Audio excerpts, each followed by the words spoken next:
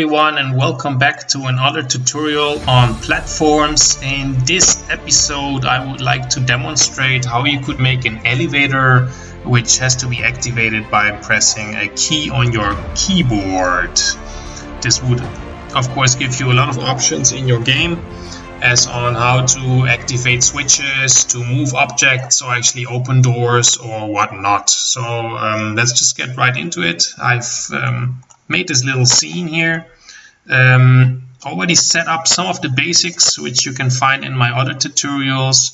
With basics I actually just mean I put here a platform which has a box collider. Um, yes, and actually I can also put another box collider on it, which is, uh, let's say, the trigger. Is the trigger, and we're gonna make it a little bit bigger. Mm like this. Actually, I want the person to stand on the elevator to start the trigger.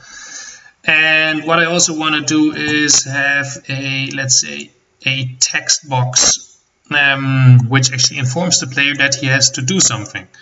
Let's say a press to activate. So I have here a box which says press to activate. If you put it in light, this this actually this level is made with light and darkness. So you can see it's in the dark, but if I have it here somewhere, it should actually activate. Um, so let's make this a little bit smaller. I made it very simple in actually um, PowerPoint, uh, just to make some text box like this. And I would like to have it pop up here. Let's put it here in the player. Um, let's put it let's on top of everything this platform is minus, uh, so let's say behind the player. And this press to activate, let's put it here in the elevator folder. So I made an elevator folder which has the move platform with the box colliders and a press to activate, which I would like to have here. Perhaps I can make it a little bit, let's say, um, change the color a little bit. You can change the color here and make it a little bit transparent. Does that would that make it look cooler? Actually, I don't really. It doesn't really stand out, does it? Yeah, it's not really helping much. Perhaps if I put it to the white a little bit. Yeah, yeah, yeah, yeah. All right, let's just leave it like that for now. And let's go on our elevator, which we would like to have as a uh, trigger, which is already done, and then we're going to add our finite state machine. So as usual, we're going to start with a trigger to the event. And the trigger to the event should be, of course, the player trigger. Um, the character should also have the player trigger there. Uh, we go back on the move platform, and once we enter the area, we finish the first state. So let's call this the trigger state. We're going to add a state and in this state we want to inform the player uh, by moving this text in place. Currently it's already in place but let's say move the text in place. Um, just to inform uh, the player. And what I'm going to do, I'm just going to put this text somewhere out of the screen so it doesn't bother you and nobody sees it before. And what I'm going to do is then just add here a new kind of function is setting the property of something. You can also move it, but sometimes when moving objects, they don't always end up in the right location in this kind of trigger functions. For moving platform it does, but I learned in these kind of situations it's not really uh, let's say the best. So uh, set property target object is going to press to activate. Um, just once, we don't need every frame. We just want one update. We want to have the property here in transform, which is actually the same as this transform box. We're going to put the position in a vector tree. Um, and now we need to have the right position for this for that, I would like to find out what is the right position. Um, unfortunately, I cannot put a target here. That's a bit unfortunate, but I'm just going to create an empty empty object and maybe it should be somewhere like here that seems like like you know yeah let's say x17 and the I on 1 and maybe later on the top I, I will check again I know this is uh, maybe a little bit strange that I do it like this but I want to move the text in place. And after the text in place I'm just going to finish right away and the text will just float there then with this request to enter a key. And it said press E to continue get key down. As an option here and you can actually just select any key of your keyboard here. So this is quite handy. You could also get a button or a controller depending on the platform which you want to choose. Um, in this case I actually had the text made to press E um, because if you want to move it WASD that's fine. And we're just gonna add a transition finish. So let's say press key. And after you press the key I would actually like to have this this text move text away. I just I, I don't want to see the text in anymore. And I'm just gonna you know change the y-axis to let's say 1000 so that I'm sure it won't be showing up in the screen anymore and afterwards I could actually just move the elevator now. Um, yeah I'm gonna add a new state. I'm gonna call move elevator. Hope I spelled this correct. Elevator elevator is it with an I? Um, I think it's fine. Even if it's wrong uh, my apologies. English is not my first language. So in this case we're just gonna move object. And the object should be the owner which is the elevator. And we're gonna add of course then destinations again. For this one we have to make actually targets. So what I'm gonna do is just make a create empty. And we call this one the target 2 I know it's always target 2 and then target 1 um, because the target 1 I want to have let's say up here somewhere because I want the elevator to stop at the top. Um, we go back on the elevator and we go to target 1 so for some reason I'm confusing myself. And let's say it's gonna take four seconds and then it finishes the event. Uh, what I would like to do though after I press E perhaps I also want to add a short wait and uh, perhaps a sound effect. Does that make sense? Um, I don't really need to put a finish event there just gonna play sound or is it sound? Yeah play sound. Play sound. Um, perhaps just just you can use anything an elevator sound. Bing! Or I just have this bass sound. Play sound.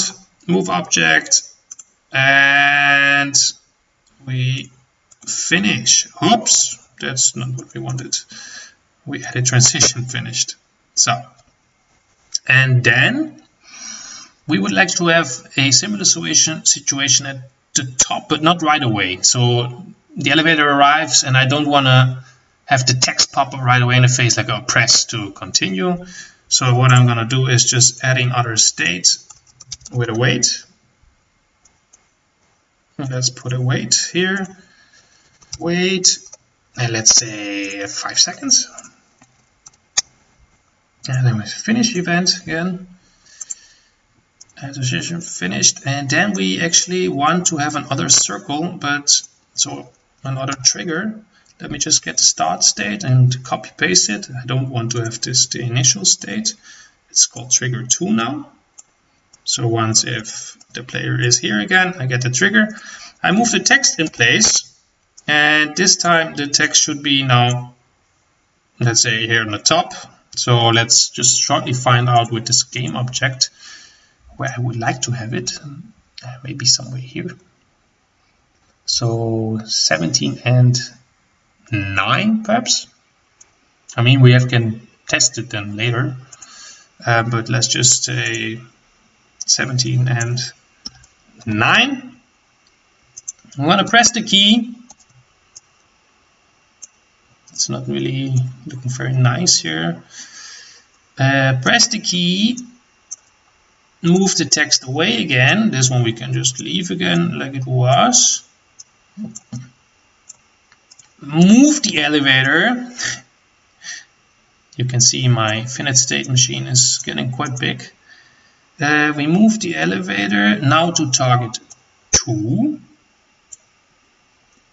and then we're going to wait again. And then bang we're back at the start. So let's actually see if this works. Let's hope and pray that the text box actually shows up. So it's waiting now for me to trigger it dun dun dun dun dun. Jumping up. Ah press E to activate. Okay press E. Elevator is going up. There was a sound. Jumping off. It's waiting. So at the moment it won't trigger anything. If I trigger now press E to activate. Now I could move this down a little bit. Um, I suppose it's it's not really on on top um, but I mean it gives me here the idea. Um, press E again. And we move down. This is also of course not really made nicely. The wall is just on top. I'm bumping my head. Um, so we can we could just let's say make this a little bit up so that people don't really struggle there.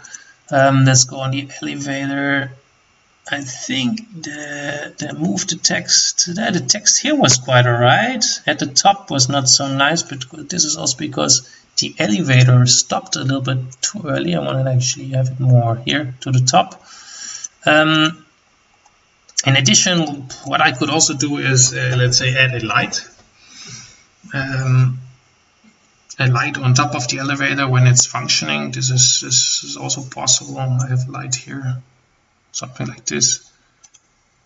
Is this a, just, just a light? It's a little bit big. Uh, you can actually add lights. Perhaps I can show this shortly how to add a light. Uh, let's just go here to the elevator and let's here add a light 2D and we're gonna add a freeform light which we then can edit in shape Perhaps we just want to have this little crystal light up when the elevator moves. That's maybe nice. So we just make this little triangle here. Um, and of course I want it to light the player. Yeah, that's, that's something like that. Now I have a, let's say, a freeform light. And of course also this we could move in and out let's say. And let's actually do that. Perhaps let's just put it here on this one elevator. Um, and let's say when we move the text and we press the key we move away uh, set property and we're gonna set the property of this this free light. I'm also gonna do here transform position vector 3 now of course it's gonna be tricky. Whoops. If I press now this freeform light I can actually find out it's on 9 and minus 2 but for some reason I don't trust this. I don't trust this this giving me these figures I actually want it right there which is position 16 right here in the middle. That's where I want it uh, it might actually be off a little bit but let's let's just try. Um, 15.9 and minus 0.5 uh, 15.9 minus 0.5 for this uh, freeform light. Did I actually push the freeform light? A nice freeform light. Let's just put it here. Oops. First, we go here. So the freeform light. Ah, this of course. Mm, yeah, it would work if I connect the freeform light there. Yes, it would work because it's gonna move it on top and then it's gonna move with the platform. So of course I have to make the freeform light a child of this platform. And I'm gonna put it in place by using the transform and then it's gonna hopefully move right. Let's just check.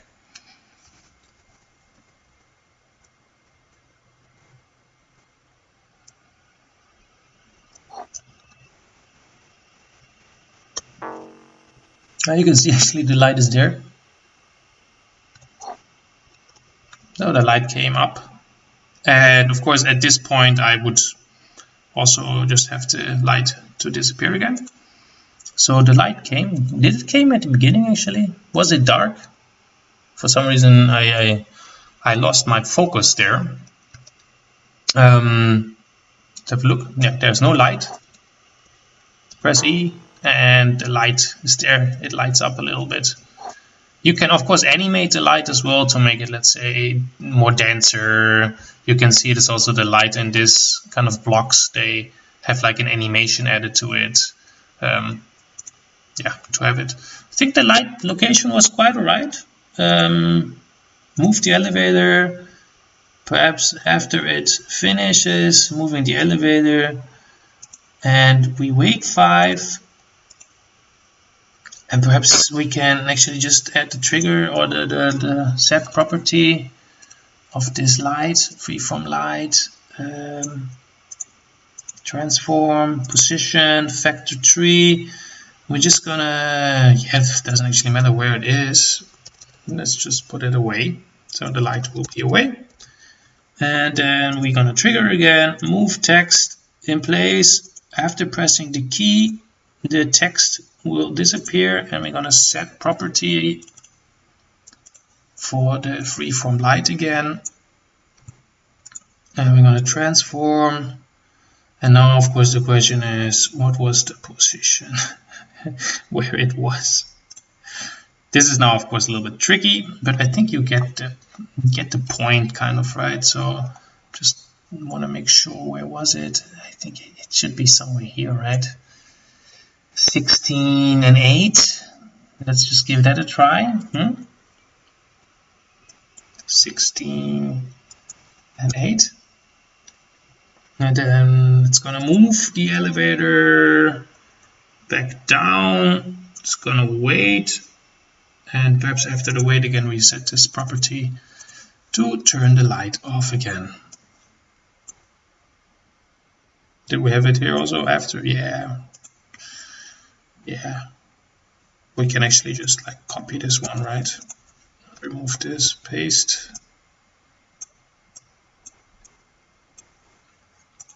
And let's see if that makes any sense.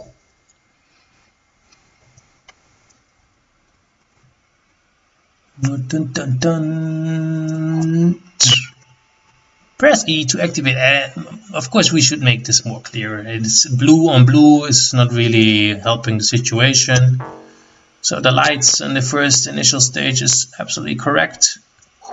Um, I think it's not going to be correct for the second one. It's going to wait. Uh, it's a little bit on top. And um, yeah. And now it's actually, uh, it was already gone then. No, well, but you get the point. Uh, so you have a lot of, uh, let's say, possibilities to make these kind of triggers. Uh, as you can see, I also uh, have some light on my character, so it lights up these things as well. And then, uh, yeah, well, I'm quite satisfied with this. What you could do, of course, is also put a trigger here to make the elevator move up and down. So this is all possible. Perhaps next time I can make an even more complicated elevator. But I think once you get this, this you can kind of get the, get the hang and get the point on how these elevators or moving platforms work. Well, thank you uh, for actually looking until the end and see you next time. Cheers. Bye bye.